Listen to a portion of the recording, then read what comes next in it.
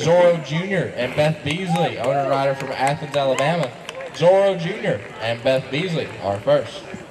Please give a big round of applause to number 158, Zorro Jr. and Beth Beasley, owner and rider from Athens, Alabama. Zorro Jr. and Beth Beasley are your blue ribbon winners here tonight.